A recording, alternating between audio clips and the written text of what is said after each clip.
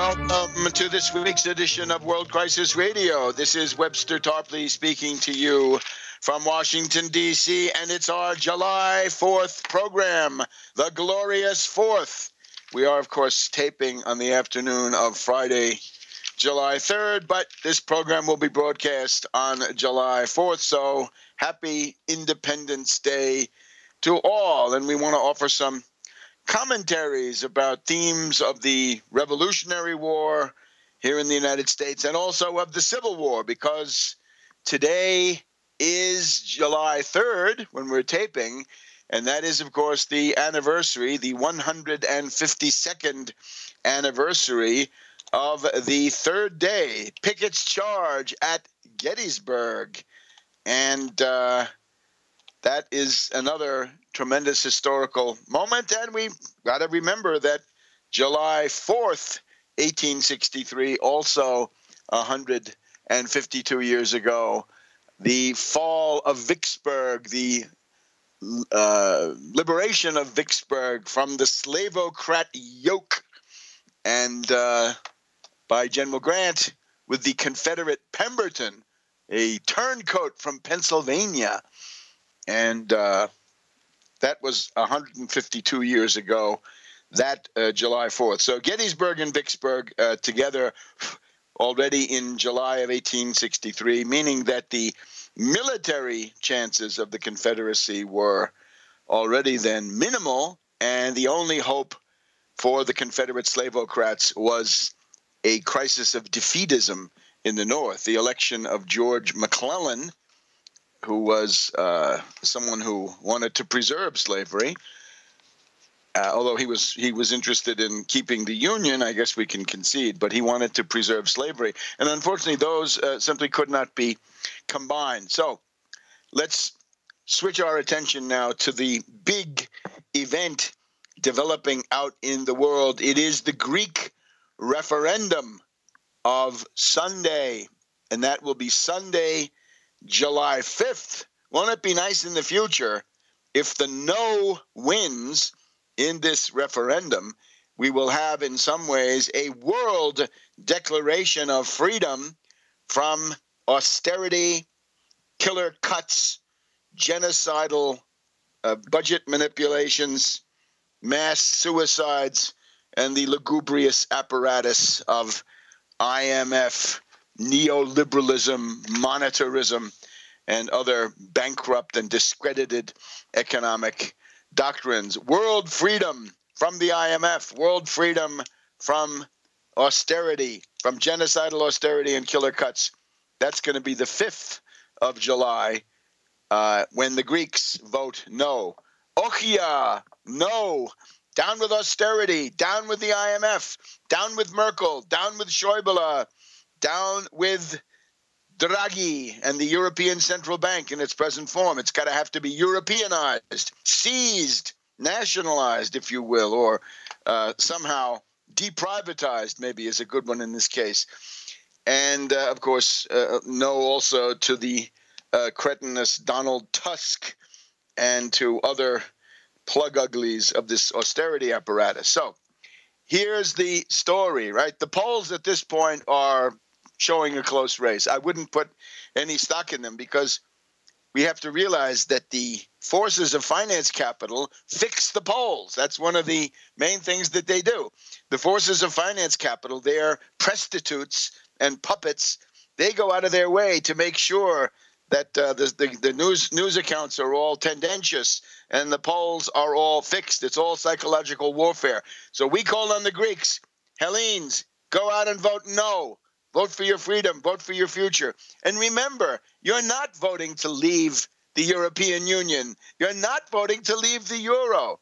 You have every right to say no to austerity and remain in the euro. Because remember, the European economic community that you joined and the European Union of today and the euro, uh, at least at the beginning, back in the 80s, and then to some degree still during the early 90s, they were not based on neoliberal economics. They were not based on the Washington consensus.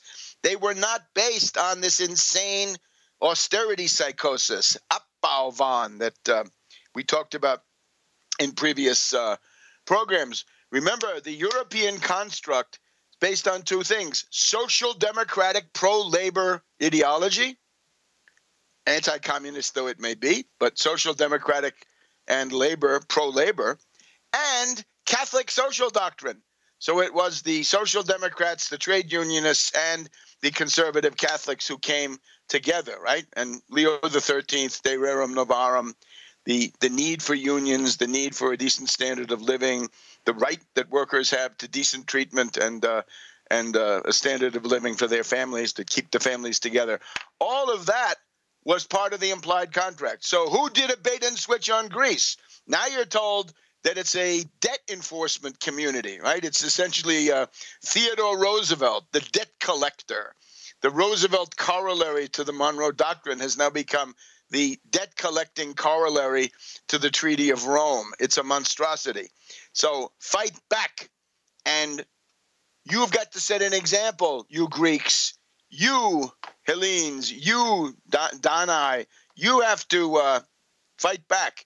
You've got to inspire the Portuguese. You've got to inspire the Spanish. You've got to inspire the Italians and the French.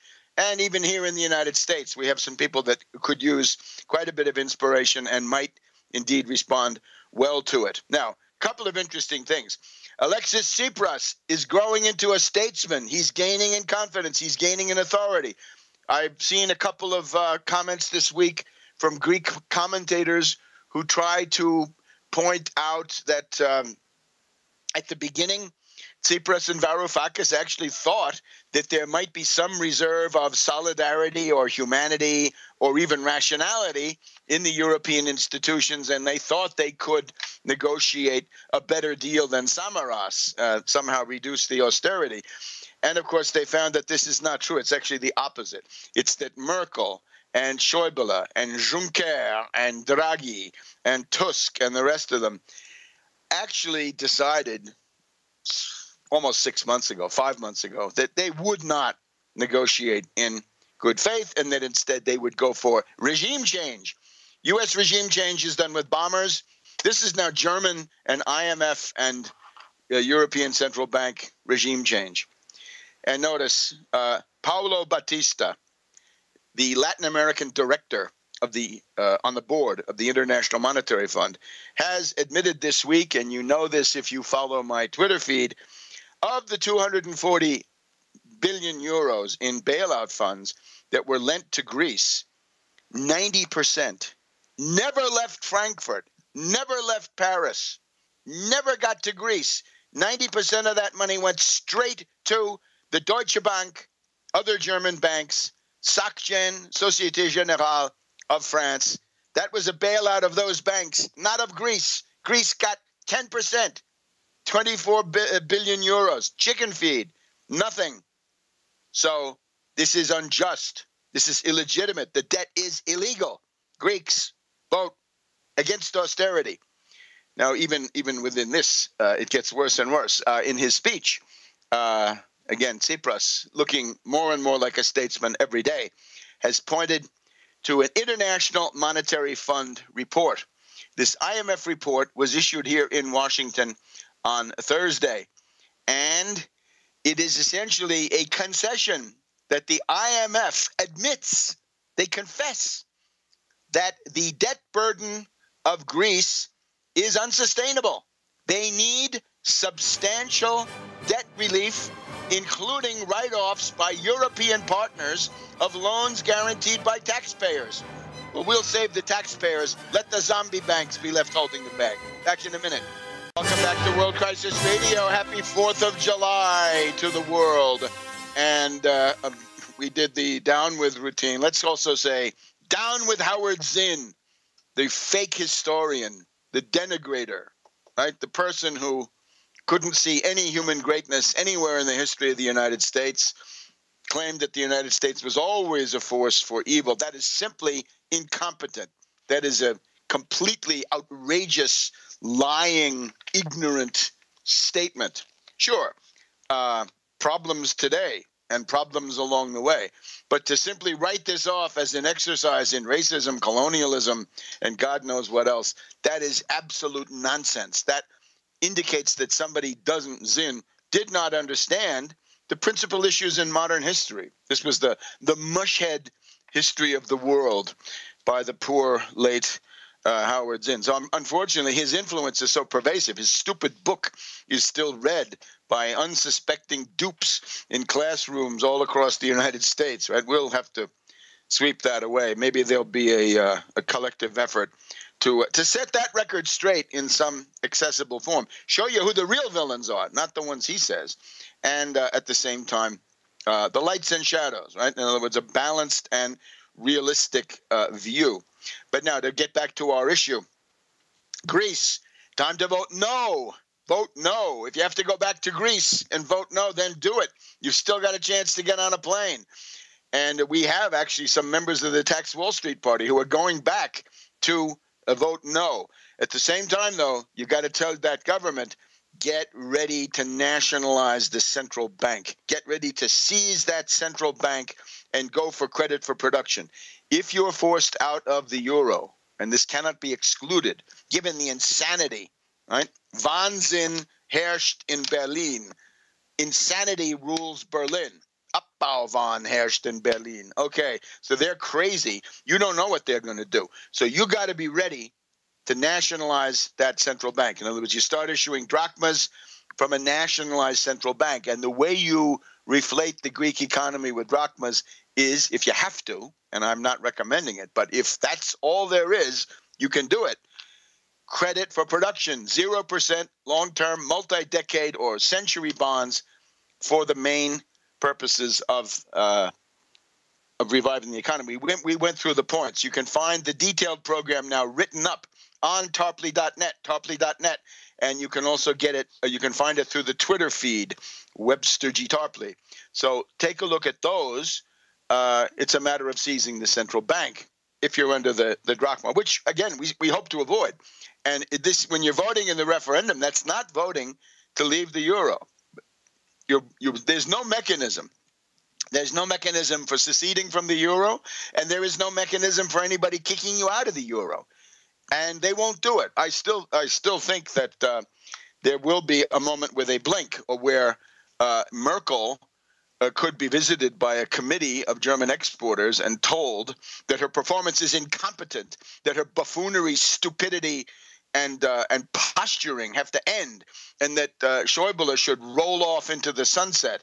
Uh, a lot of these people deserve to spend more time with their families. I guess is the uh, the acceptable way here in Washington to uh, to recommend that they be ousted.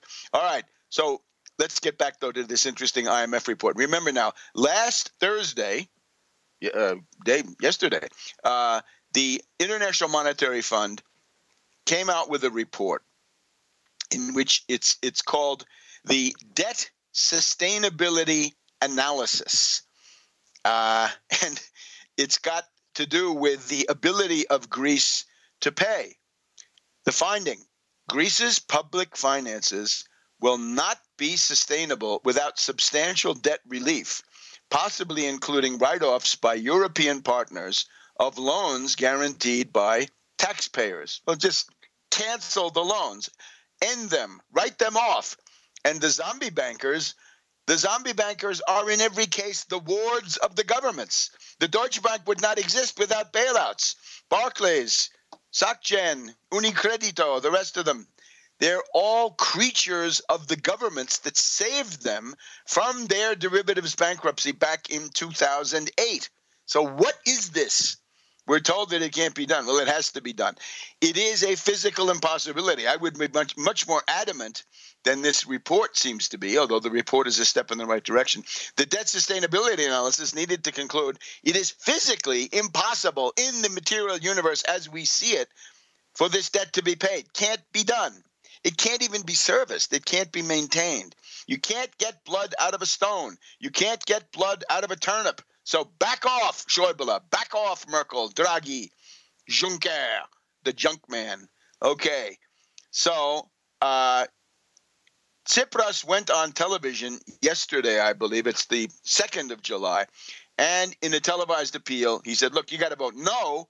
And notice that the IMF bureaucracy even agrees with the Greek government. The Greek parliament has concluded the debt is illegal. The Greek government uh, argues that it simply cannot be maintained and that we need their position, I think, remains 50% debt reduction within the framework of a new London Debt Conference of 1953, where Germany, despite the crimes of the Nazis, which cannot be forgotten, was given a 50% debt write off by its victims. Victims. So, this huffing and puffing from the Bild Zeitung about the Greeks as lazy and so forth is hypocritical.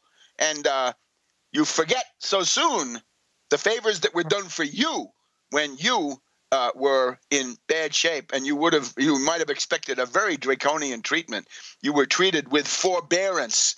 So why don't you reciprocate?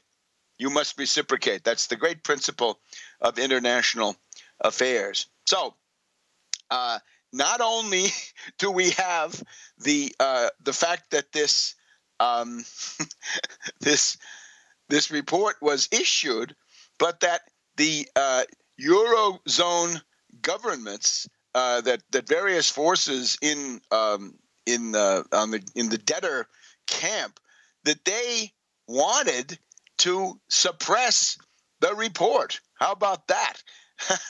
Europeans. This is I'm reading from Reuters. Paul Taylor in Brussels reports at 1:25 in the afternoon today, July 3rd. Exclusive. Europeans tried to block IMF debt report on Greece, according to sources. Eurozone countries tried in vain to stop the IMF from publishing a gloomy analysis of Greece's debt burden, which the leftist government, Syriza, Tsipras, says vindicates its call to voters to reject bailout terms. Sources with the, familiar with the situation said on Friday. The document was released in Washington on Thursday, and it said again what, what we've just uh, told you that debt relief has to be included and they need 50 billion euros over the next three years to keep themselves afloat. We might, we can certainly reduce that using dirigistic American system uh, methods. So there you go. The Eurogocs and Eurocrats tried to suppress the report. Back in a minute. Welcome back, to World Crisis Radio. Webster Tarpley here in Washington, D.C. So again, vote no, vote down with the IMF. Get rid of this monstrous institution. It has been hijacked by these uh, financier oligarchs. It has no success stories. And this woman, Lagarde, known in this program as Lagarce, uh, Lagarde, should go back to her tanning bed she should have a Hermes bag in one hand and a Birkin bag in the other and go to her tanning bed and live the life of a sybaritic parasite, which is what she is. She's an absolute cretin. And uh, she's also, of course, she's in, in odor of extreme corruption, payoffs, kickbacks, God knows what else are all attributed uh, to her. But now, stepping back a little bit from the Greek situation, we now have the following perspective. The Chinese stock market has now gone down 30% in the last uh, couple of weeks. It's an interesting backdrop or atmospheric. I don't think that the Chinese situation is exactly out of control. 30%, however, is one third. So this is obviously a downdraft. And I think for many institutions in the West, uh, it was not uh, anticipated. It was not uh, predicted. So uh, the, the, Chinese government says stock manipulators are at work. Well, possibly. Uh, couldn't rule it out. But of course, uh, there are bubbles, right? And um, if you take the capitalist road, especially if you take the finance capital road, that's what you got to expect. Now, um, what we need to look at otherwise, the Ukrainian bankruptcy, right? The Ukrainian default, widely expected on July 26th, when uh, $2.6 billion of bonds come due, approximately. Uh, it looks like strong arming and arm twisting, uh, death threats, and God knows what uh, will uh, have uh, produced some softening of the hardline positions of certain greedy uh, debtors, creditors, excuse me, creditors of Greece, of of Ukraine, creditors of Ukraine who wanted their money uh, 100 cents on the dollar. They won't get that. But now we, we, it looks like there's a little bit more give. And according to this, then on uh, July 2nd, yesterday, we had uh, a certain, mm, you know, less softening in the prices of these Ukrainian uh, bonds. Uh, so the, the Ukrainian bonds have now gone up about 2.4 cents, two and a half cents, let's say, to 50 cents on the dollar as of uh, 5 o'clock in the afternoon yesterday in uh, Kiev. The government in Kiev has threatened to stop servicing its Eurobonds if the proposal, including write downs, they want write downs of principal. How can they get that?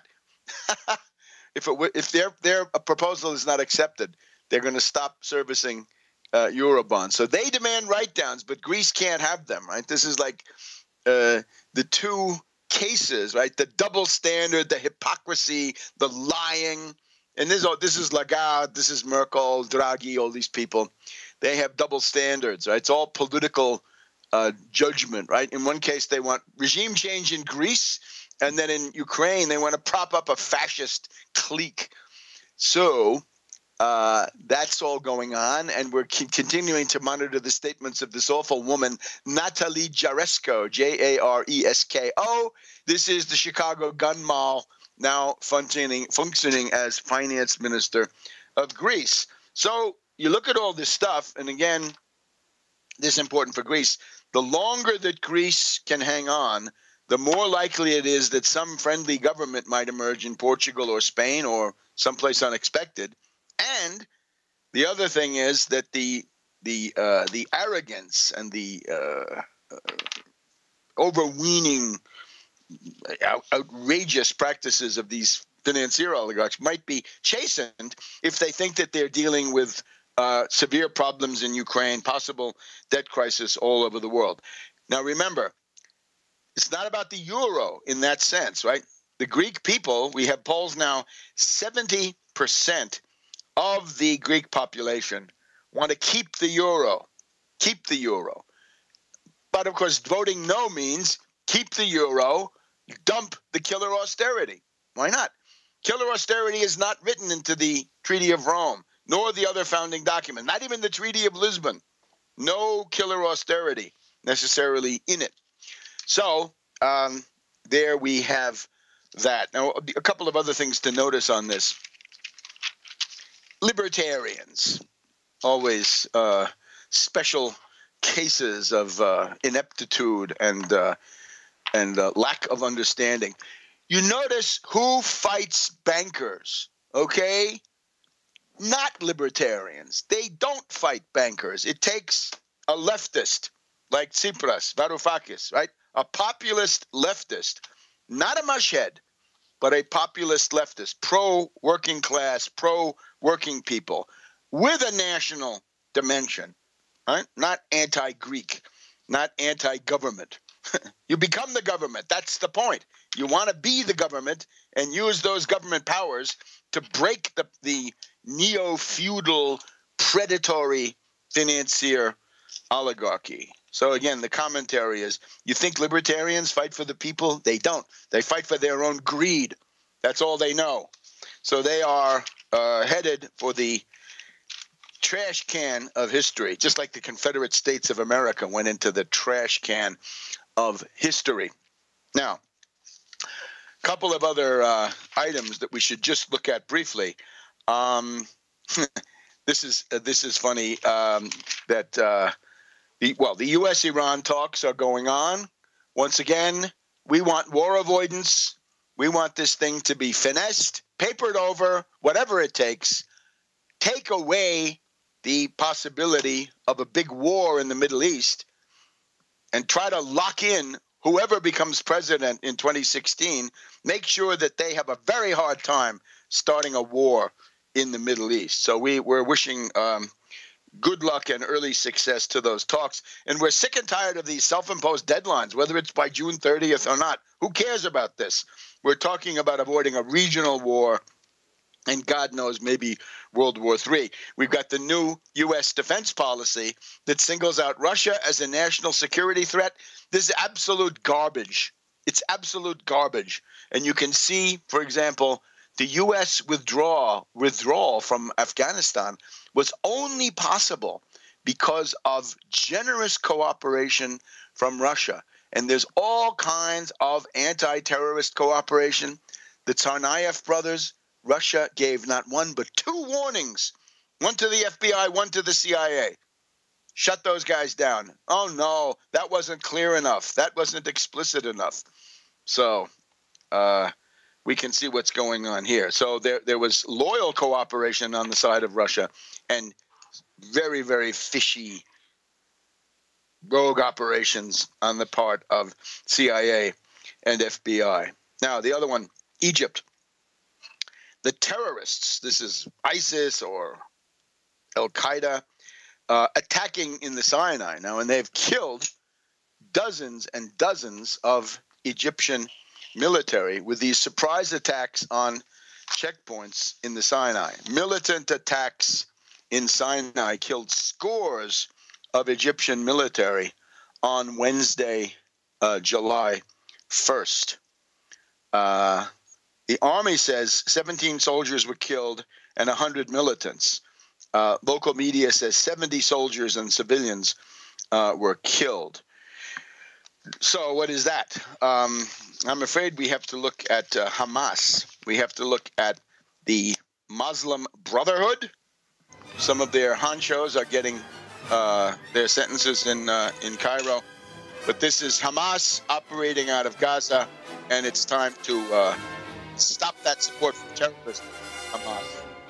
Washington, D.C. Now, there are two demonstrations going on in Athens. There's the yes demonstration and the popular no demonstration. And even France 24 in their coverage has admitted that the yes demonstration is composed of rich people with high fashion designer handbags and designer shoes and designer clothes. And those are the wealthy. And they say yes, because the austerity does not, not hit them so hard.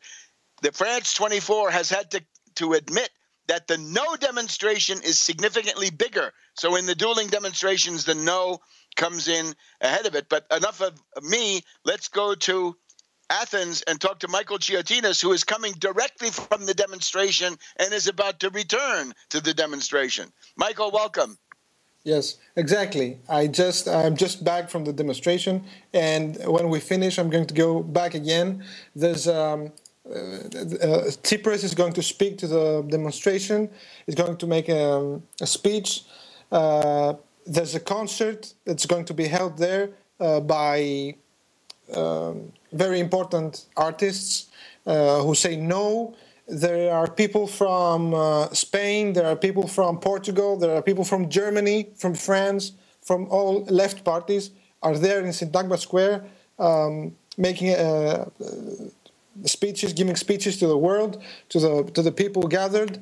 Um, it's it's um, a gathering like nothing else that I've ever seen in Athens you see uh, rivers of people um, until you, you, the eye cannot see the end of the of those streams of people. I I, I got out of there uh, using the um, the metro rail, and there were streams of people coming out of the metro to the heading towards the demonstration. So here, the climate the, on the other hand, the climate is um, is one of a coming regime change.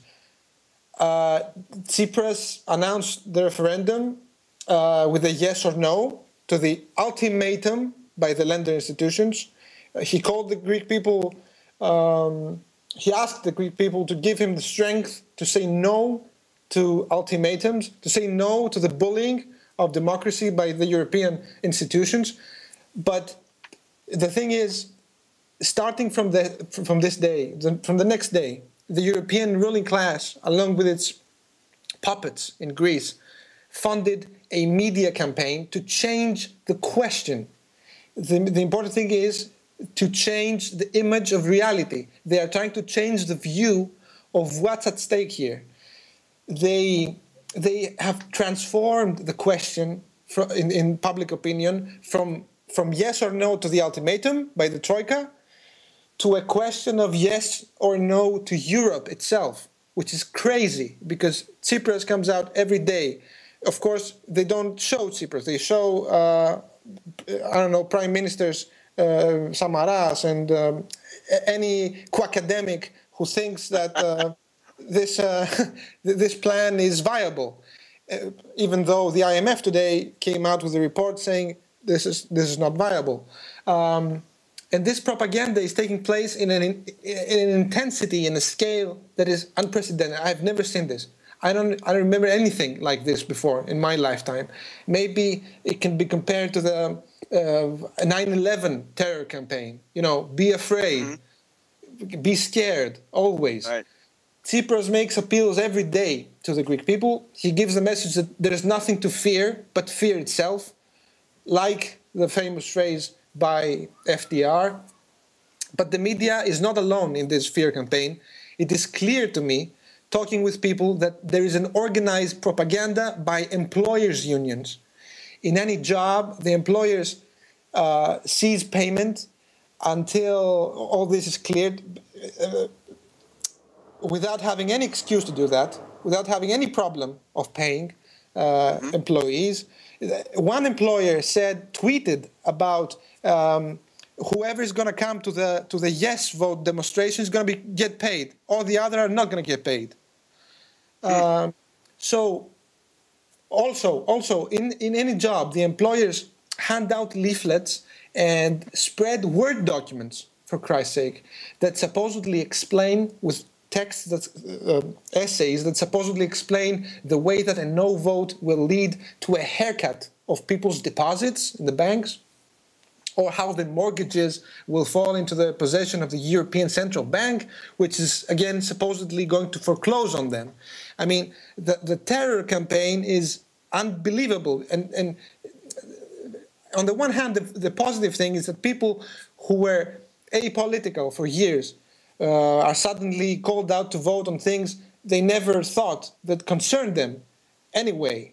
But on the other hand, these people are very easily terrorized and it's going to be a very difficult uh, fight to win. I, I, don't know, I don't know where it's gonna where this is going to lead. Right now, the polls are 50-50.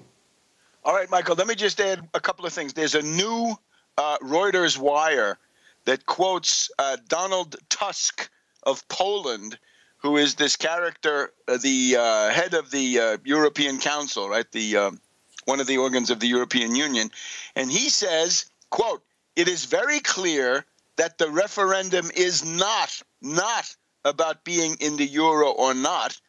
That's not the issue. He says maybe we will have to get used to living with a country as a member of the eurozone in bankruptcy. So there he is saying that's not the issue.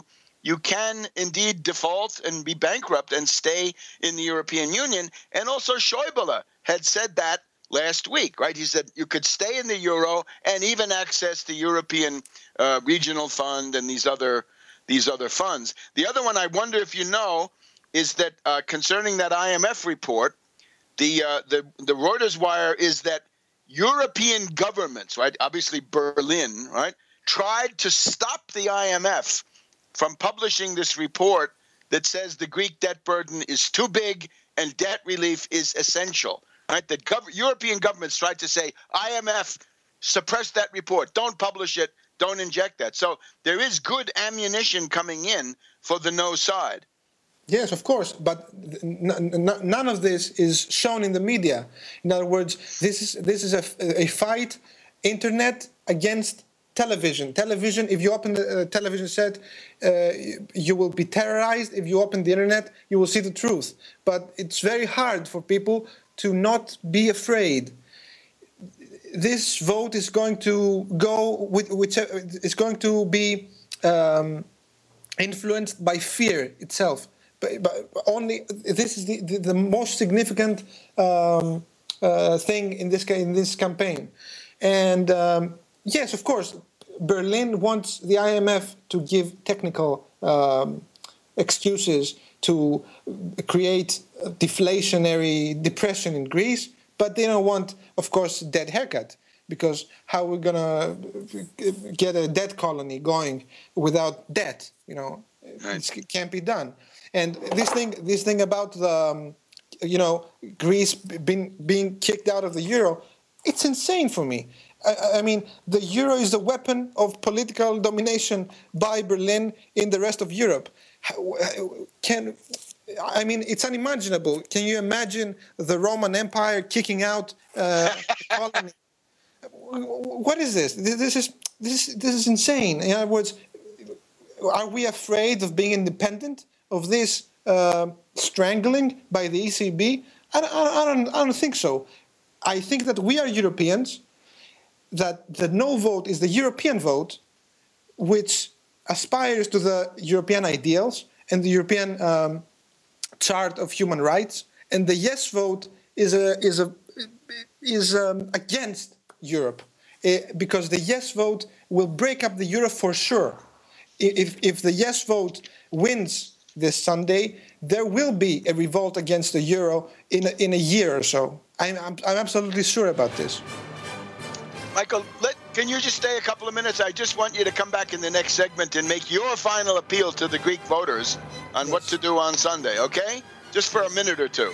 Okay, welcome back to World Crisis Radio, our July 4th program. And uh, we just want to get a few final words, the last word here, from uh, Michael Chiotinis in Athens. Michael, why don't you make your appeal to the Greeks? And if you want to say a few words in Greek, that would be great too.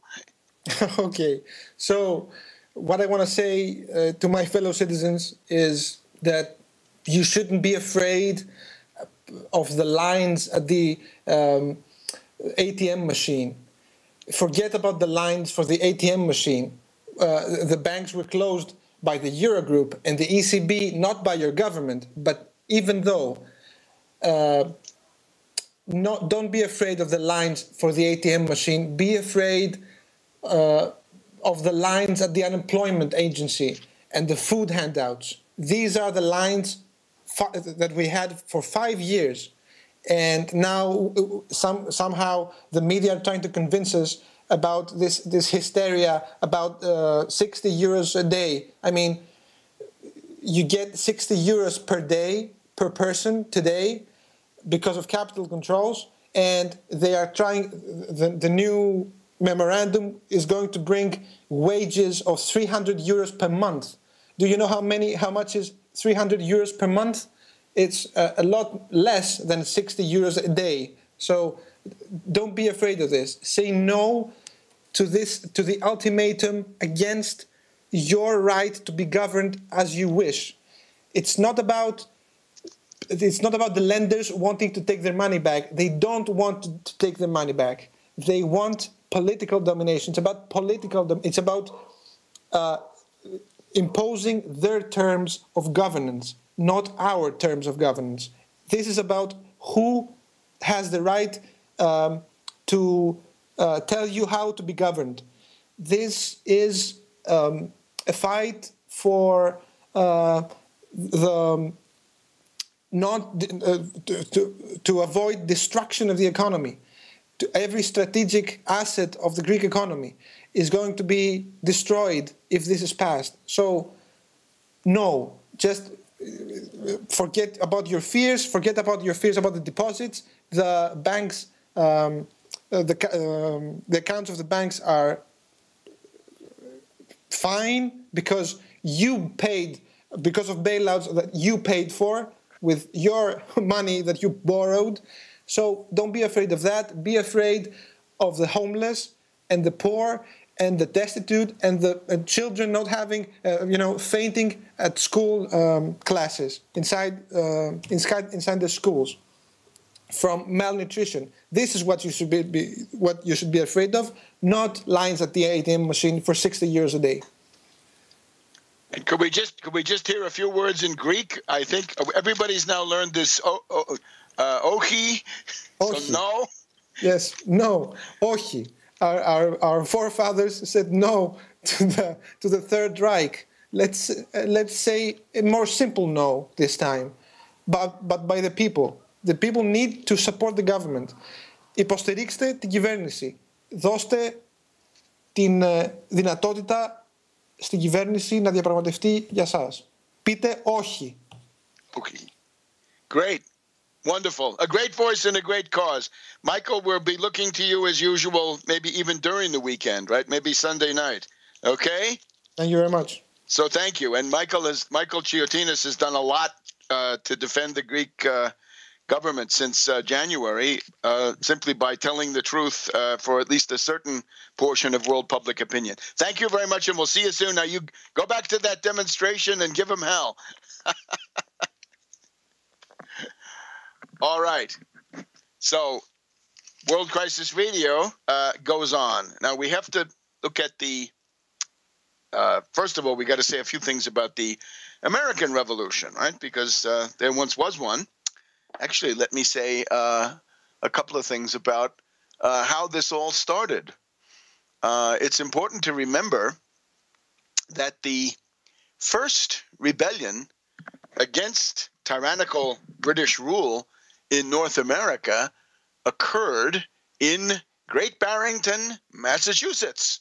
And uh, yours truly is, uh, I guess, if I'm a native of anywhere, I'm a native of Great Barrington, Massachusetts. It is in western Massachusetts. It is the county seat of Berkshire County. And it's uh, the place that is the first open rebellion, resistance against British rule in North America. Uh, and let's just go to uh, the center of Great Barrington. This place is now kind of a, um, a bohemian uh, artists colony or good for rich people from New York City, but it's that was not always the case.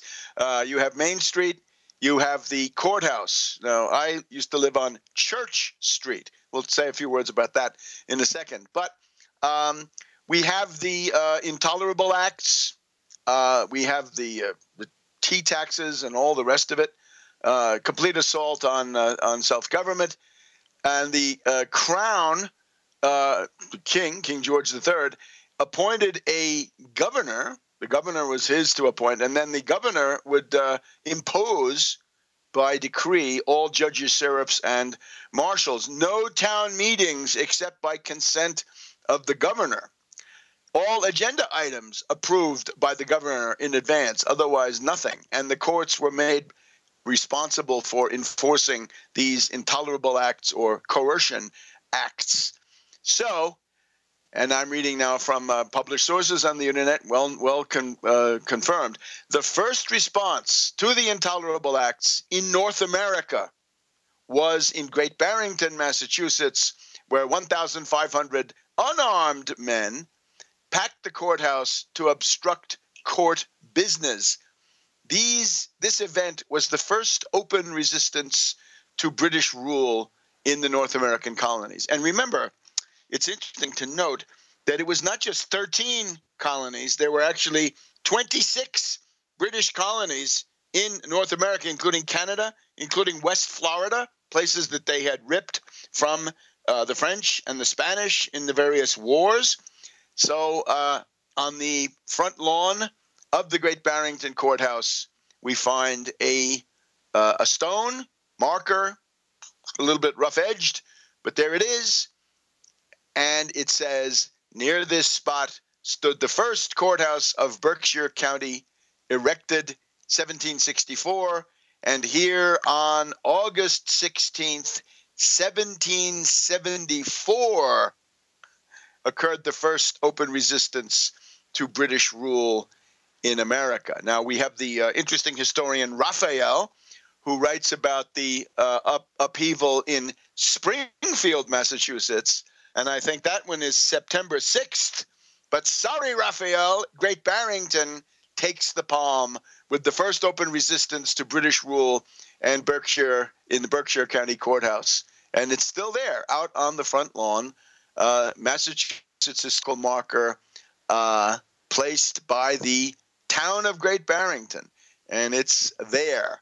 So uh, the the voice you're hearing from this program is the voice of a certain tradition, uh, the revolutionary one. Uh, and that's the that's the story of Great Barrington. Now, the other thing we want to point out, the text of the Declaration of Independence. This was the best thing uh, Thomas Jefferson ever did. Notice he did it under the supervision of Benjamin Franklin, who told him what to write. Uh, but of course, Jefferson was a talented writer.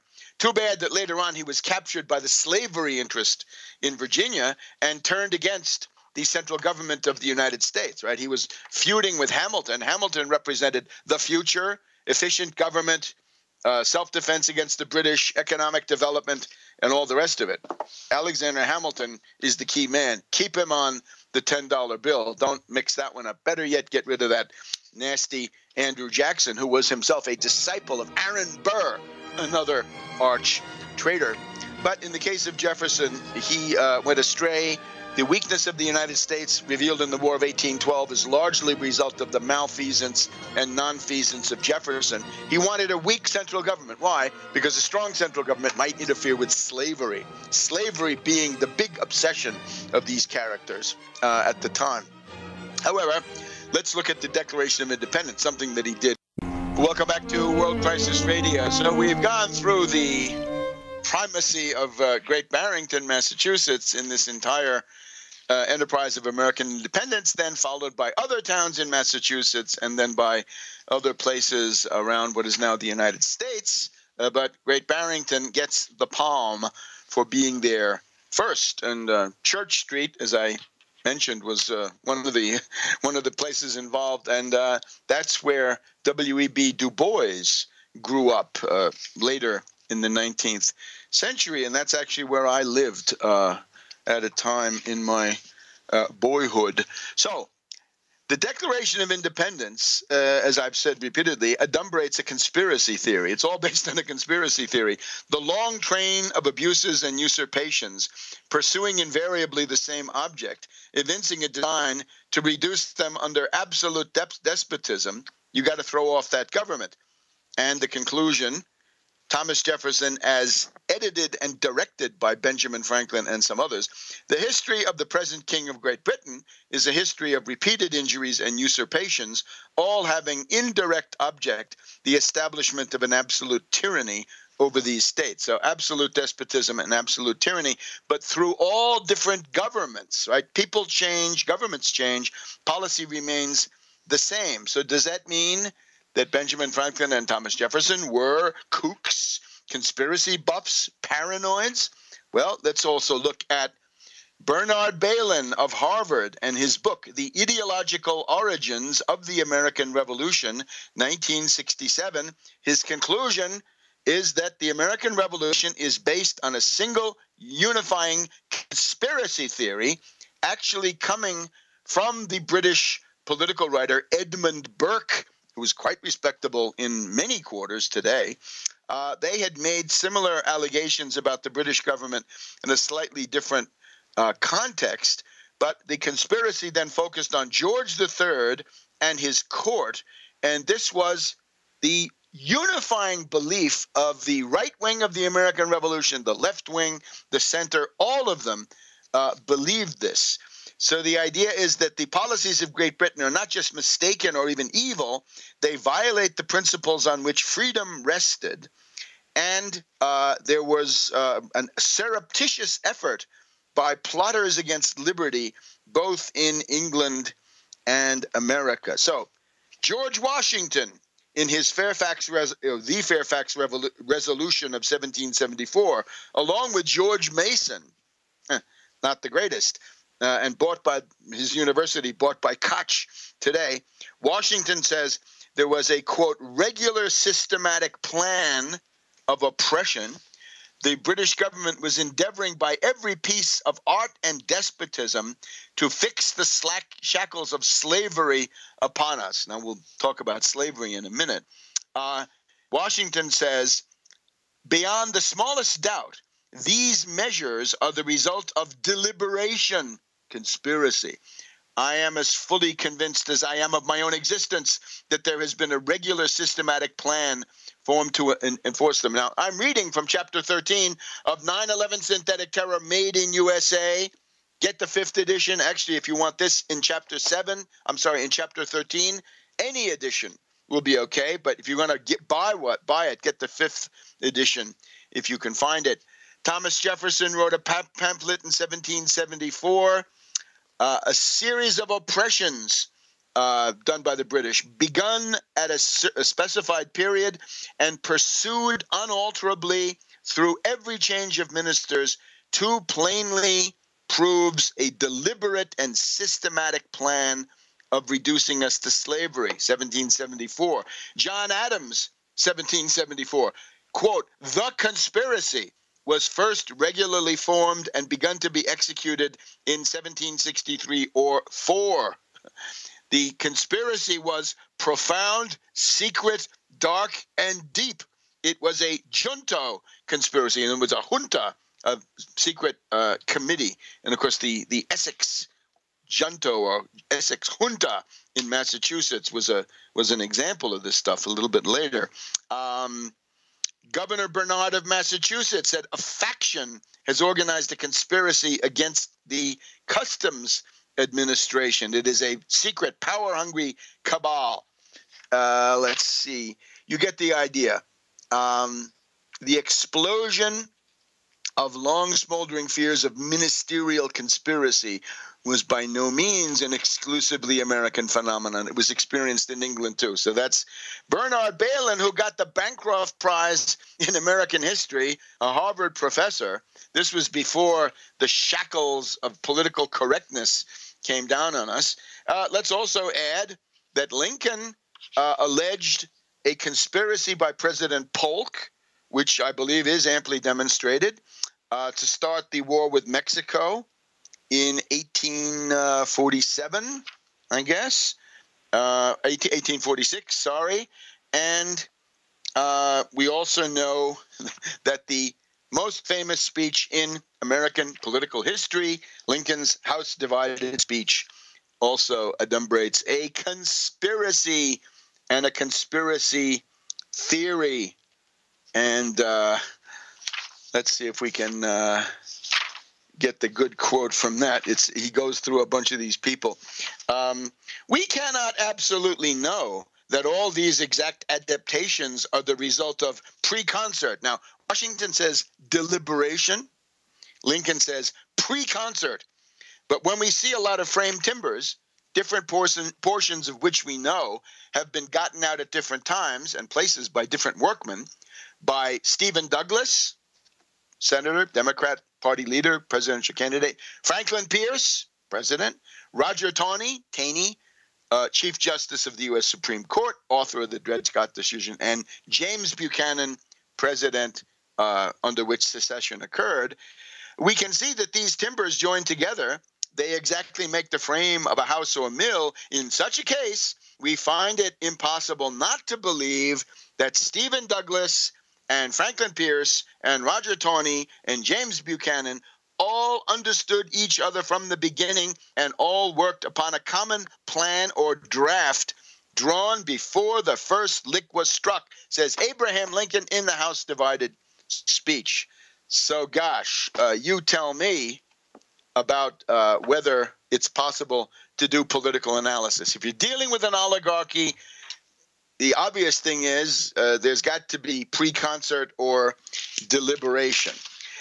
So uh, that's the Declaration of Independence. And uh, remember, we also have to thank the uh, international powers that made this possible. France joined the United States in 1778, and we'll, we'll review the uh, the three countries really that get the uh, the thanks of a grateful America on July 4th, and we'll be back in a minute. Welcome back to World Crisis Radio. So we've done our commentary on the American Revolution and that vigorous intellectual life that allowed people to see deliberation and pre-concert without being slandered as paranoids and kooks and conspiracy theorists. Although I have to admit, there are lots and lots of people who are kooks and paranoids who are out there selling conspiracy theories. Today, let's not forget little Ron Paul, the infamous leprechaun, who's out there telling you that you should put your future under the control of his uh, very dubious uh, stockbroker, a guy who has been uh, a firm which has been fined uh, by the United States uh, government, the Securities and Exchange Commission, for essentially trying to rip off uh, some people. This Stansberry fined 1.5 million. So Ron Paul is preaching the apocalypse. Uh, this we do not uh, share, and it's not because of governments, Ron. It's because of f- finance oligarchs, bankers in particular, and of course the governments they control. That's that goes without saying. So the answer to that is though not to tear down the government, as Jeff Davis wanted to do, but build up a better one. Remember that song, right? Old Abe Lincoln came out the wilderness, and the key verse is Old Jeff Davis tore down the government many long years ago, but old Abe Lincoln built up a better one many long years ago. So that's it. Jeff Davis, president of the Confederate States of America. Now, it's 4:15 on the afternoon of July 3rd. Let's go to William Faulkner in his famous screed Intruder in the Dust. This is uh, obviously a writer that we condemn on aesthetic grounds because of his lack of realism, but he does have some insights. For every Southern boy, 14 years old, not once, but wherever he wants it, there is the instant when it's still not yet two o'clock on that afternoon in July 1863. The brigades were in position behind the rail fence. The guns are laid and ready in the woods, and the furled flags are loosened to break out. And Pickett's himself, with his long, oiled ringlets, Pickett obviously used greasy kid stuff, and his hat in one hand, probably, and his sword in the other, looking up the hill and waiting for Longstreet to give him the word. And it's all in the balance. It hasn't happened. It hasn't even begun yet. It hasn't begun. There's still time for it not to begin against that position and those circumstances, which made more men than Garnett and Kemper and Armistead and Wilcox. These are all Southern brigadier generals. A lot of them got killed. Look grave, and it's going to begin. And we all know that we have come too far with too much at stake for the moment, and it doesn't even need a 14 year old boy to think that maybe this time, maybe this time, with all this much to lose and all this much to gain, Pennsylvania to gain, Maryland, the world, the golden dome of Washington itself, to crown with desperate and unbelievable victory the gamble made two years ago. Well, uh, that's the uh, the myth, uh, and that seems to go around in the minds of a lot more people than you would think. Right? The libertarians don't ever seem to have gotten over that um, moment because the Paultards, Ron Paul, Rand Paul, represent the southern jurisdiction of the Scottish Rite of Freemasonry, which also brought you people like Trent Lott, Jesse Helms, Strom Thurmond. You go down uh, the list. Now, once again, we're told that the Confederate Constitution or the Confederacy is not based on slavery. Well, Alexander Stephens, the vice president of the Confederacy, put out this infamous statement saying the U.S. was founded on the idea that all men are created equal. The Confederacy is founded on the opposite idea that they're radically unequal, and therefore we have to have racial discrimination, slavery, and white supremacy. Uh, and that's the Confederate bedrock position. But interestingly, couple of years after the war, when Stephens started to write his self justifying, self serving memoirs and other tracts, he said, Oh, no, slavery was only incidental. That was not the big thing, right? In, in the moment, it's the only thing, and later on, it becomes uh, incidental. Notice that in the Confederate Constitution, uh, we do not have we the people of the United States. We have each state, the people of each state in their sovereign and independent character. Well, it's easier for oligarchs to do- dominate a state. That's why states' rights is the most reactionary slogan in American history. In the Confederate Constitution, there's no general welfare clause, not in the preamble and not in the tasks of the Congress. Interestingly, there's no common defense clause either. They want a weak government that is militarily too weak to impose reforms, such as the abolition of slavery. But the General Welfare Clause is a dead uh, giveaway. So it's a weak government. Uh, notice that states have the ability to impeach federal officials, confederal, Confederate CSA officials, under this Confederate Constitution of 1861 in Montgomery, Alabama. Uh, free trade. There's no protective tariff under the Confederate system. Nothing. Revenue tariff, maybe. Protective tariff, no. And is explicitly forbidden in the Confederate Constitution to support industry, to support industrialization and modernization and the application of science, technology, and industry that can make a better life. My God, we probably have some leftist mushheads who would go along with this. No support for industry under the CSA. And the, the Confederate government will not build infrastructure. No infrastructure, no roads, ports, docks, and uh, today energy facilities and so forth. The Confederacy, like the Republican Party, its spawn, has the line item veto. Every bill has to be about one thing, and that's stated in the title. So that's the line item veto. No riders are allowed, right? So you got a weak, a weak legislature. Term limits, a, a single six-year term. Confederate president is a lame duck from the word go.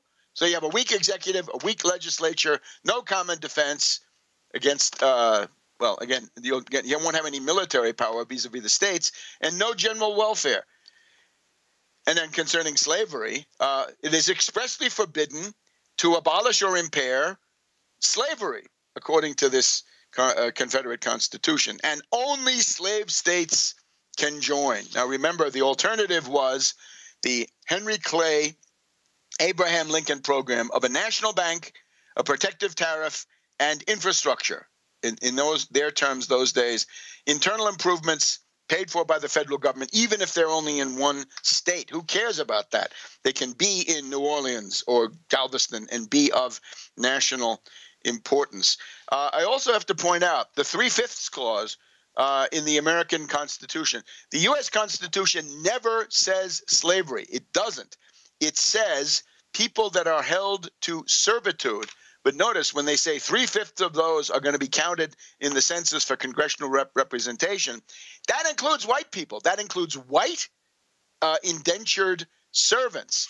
And the argument was actually if you are under the control of, in effect, an owner or an overseer, your vote will be controlled by that guy. So there was some uh, argument about this. It is not purely a racist measure. White people were counted as three fifths too if they were uh, indentured servants. Obviously, we have to go way beyond this, and under the U.S. Uh, system, uh, it can be done. So that's one of them.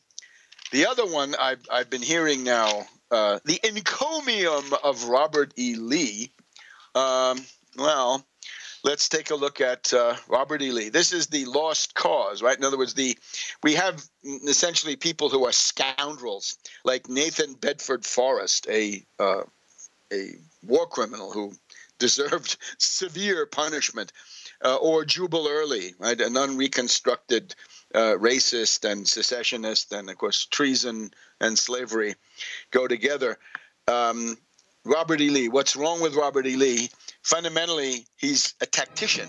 He's not a strategist. He has no idea of a war strategy. Right? You think of something like the Schlieffen Plan. He could never do that. He just doesn't think that way. He thinks of it as a series of battles, not as a continental or indeed worldwide campaign. Back in a minute on World Crisis Radio. Welcome back to World Crisis Radio, our July 4th edition. Happy Independence Day to all. Down with Empire. Uh, and uh, don't uh, forget the, uh, the, the internal structure of the Declaration of Independence and other key uh, statements, which a quackademic of today would call a conspiracy theory. So remember, we have to thank France as of 1778, Spain as of 1779, and the Netherlands as of 1780, the Dutch for helping the United States to defeat the British and gain independence. We all know people like uh, Marquis de Lafayette, Admiral Rochambeau, uh, Admiral de Grasse. Uh, we also have to think of the Spanish uh, Admiral Galvez. Uh, when Galvez captured West Florida, he was then able to go out into the uh, Caribbean. This freed up de Grasse on the Allied side, who was then able to go and trap the British Army in Yorktown so that it could then be forced to surrender by Washington and his right hand man, Alexander Hamilton. But now we're back to the, uh, the Confederacy here. Um, Robert E. Lee, first of all, a mere tactician, not a strategist, and as a tactician, addicted to the frontal assault with maximum casualties among his own troops. The most famous, the aforementioned Pickett's Charge, essentially a massacre by sending these frayed regiments into the uh, the teeth of concentrated musket fire, but above all, shell fire and canister. Uh, indeed, in the last phase, double canister. Right when Alonzo Cushing uh, of the battery there at the high watermark Bloody Angle uh, turned to his division commander and said, I'll give them one more shot, Webb. That was double canister. Sometimes they'd even do shell without fuse, so the, the shell would explode almost as soon as it got out of the barrel of the cannon and explode among the uh, the attackers. So this was a, a massacre. But uh, a year before at Malvern Hill in the Seven Days battles, Lee did the same thing frontal assault. Uh, and therefore, he did not husband and conserve his most precious resource, resource, which was manpower. The southern manpower was limited. The northern manpower tended to be unlimited because of the larger population, but also because of the continuous flow of immigrants who wanted to come into the north from Europe.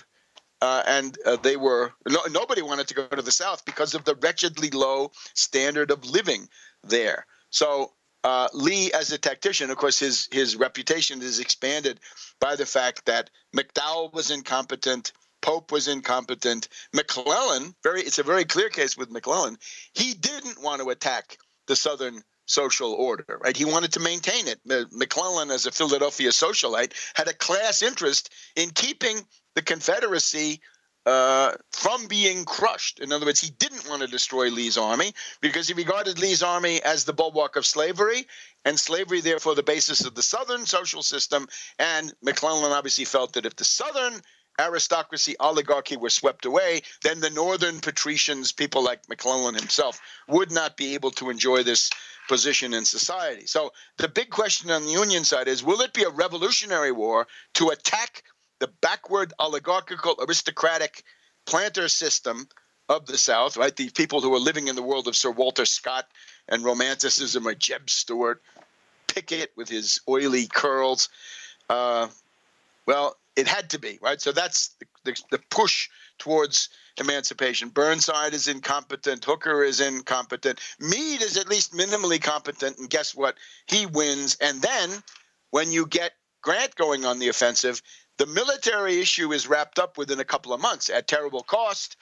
Part of the terrible cost is that the officers of the Army of the Potomac had not been on a steady diet of, uh, of victory, right? Grant's own Army of the Tennessee won every battle.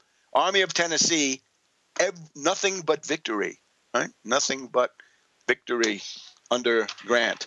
Uh, Army of the Tennessee, I guess I should say. The other thing about Lee, of course, is localitis. He thinks of it as a war to protect Northern Virginia. He could have sent some forces to, save Vicksburg. That was a big deal on July 4th, 1863. No, got to keep him in Virginia. How about sending some forces to Chattanooga a little bit later on? Follow up on Chickamauga. No, can't do that. Or send them, but then get them back. Longstreet called back as soon as possible. So severe localitis, lack of a continental strategy. And remember, underlying all of this the entire Confederate effort, including the Antietam campaign and the Gettysburg campaign, a desire to get British and French intervention, and they couldn't get it because of Russia. So thank you to Russia on a day like this, uh, because well, that Russian fleet in New York and the one in San Francisco meant that the British and the French were they were they were their hands were tied. And remember, my lecture on the Russian fleets is the number one C SPAN Civil War lecture of the sesquicentennial. And even more, going back to 2001, there's only the raconteur, I guess we'd call him, Shelby Foote from 2001, who s- still does better than I do among the C SPAN video archive items that deal with the American Civil War. So Lee was a frontal assault guy. He was always on the offensive. Obviously, it's great to go on the offensive if you can strike a quick knockout blow like the Schlieffen plan, but he had no such plan. Uh, Stonewall Jackson was closer to having a plan, but his plan was also simply kind of regional. Lee, Lee, therefore, settled into a war of attrition where he was going head to head with the Union in frontal assaults. This is crazy. So the lost cause is bankrupt. Lee is wrong. He does not surrender to superior numbers and resources at Adam Appomattox. He has to succumb to a superior system. The Northern system, the Union, free labor, is better. The Homestead Act is better the infrastructure of the Transcontinental Railroad better. The things the Confederacy could not do, didn't want to do. And don't forget the question of slavery. Here's a very interesting conversation. After he was president, our soldier statesman, Ulysses S. Grant, went on a world tour. He went to Berlin and talked to Prince Otto von Bismarck, the founder and chancellor of the German Empire. So here we are in June 1878. And the question is uh, what was the Civil War about in the United States? So Bismarck says to him, I guess that you had to save the Union as we had to save Germany, not only to save the Union, says General Grant, but to destroy slavery. And Bismarck says, Yeah, but wasn't the Union the big thing? Grant says, Yes, at the beginning.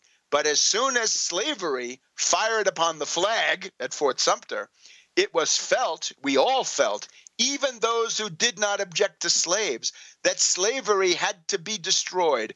We felt that it was a stain to the Union that men should be bought and sold like cattle. Well, bought and sold like cattle is the Confederate system, anchored in their Constitution. Bismarck tells him about his friend Langhorne Motley, a very interesting U.S. figure, wrote some interesting books. Uh, I've written about his uh, career. Uh, Grant then sums up there ha- this is Grant again. There had to be an end to slavery. Then we were fighting an enemy with whom we could not make a peace. No negotiated peace a la McClellan. We had to destroy him. No convention, no treaty was possible, only destruction. In other words, you couldn't temporize or compromise with slavery. It had to go. And uh, that meant that the, uh, the society uh, around it also had to go. So, um, final word Gettysburg. Um, just been there. Uh, it's a highly interesting place. Uh, the the Park Service does a mixed job. I lament the demise of the electric map. I lament the uh, the current arrangement of the cyclorama painting by Philippoteaux. The cylindrical projection of the entire battle is flawed in that the apparatus for people to stand on in the middle of it blocks your view. In other words, the the ideal situation of the cyclorama would be you can stand in the middle and turn around and see everything. And this under this setup you can't. The one at the Battle of Atlanta is even worse. But uh, it's there. All those Union regiments paid their money to put up 1,200 monuments and create the greatest monument, the greatest historical object in the Western Hemisphere take a look at Gettysburg, take a look at Antietam, and uh, and don't worry so much about the Confederate flag. Think about honoring the Union dead. See you next week on World Crisis Radio.